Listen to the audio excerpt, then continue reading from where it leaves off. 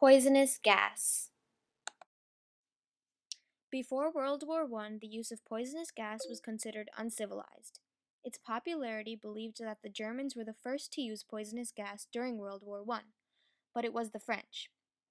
The French used XYLYL bromide against the Germans in the first month of the war.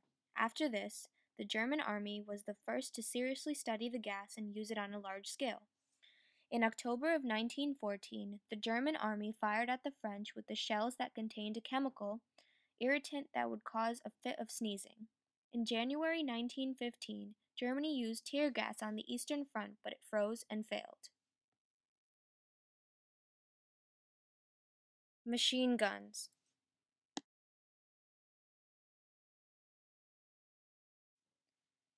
Machine guns were one of the main and most reliable killers during the war. This gun accounted for many thousands of deaths because of its accuracy and reliability.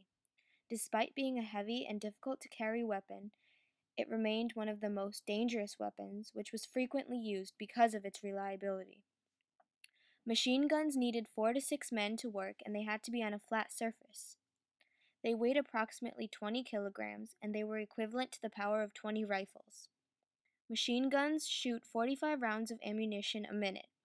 Since they often overheat, soldiers had to place a large cooling jacket over them.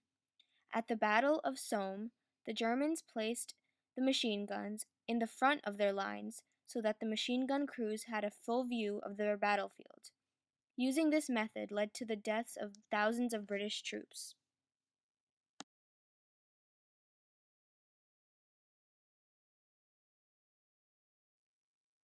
Tanks Another weapon used in World War I were tanks. The Royal Navy supplied the crews for the tanks. History was made on September 15, 1916, when Captain H. W. Mortimer put a D 1 tank into action at Delville Wood.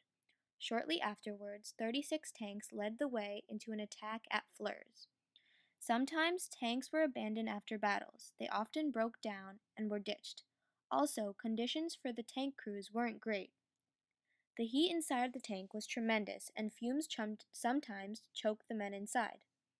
Even with these bad conditions, the early tank crews were able to operate the tanks. There were many successes in battles that used tanks. For example, the Battle of Cambrai. The first tank versus tank battle was when the German tanks were used on April 24, 1918, and the British and Australian tanks were used.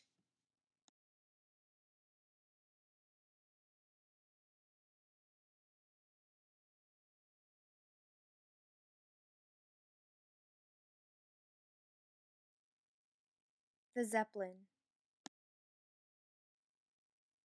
Another weapon used in World War I was the Zeppelin. It was also known as the blimp. It was an airship that was used during the early part of the war in bombing raids by the Germans. They carried machine guns and bombs.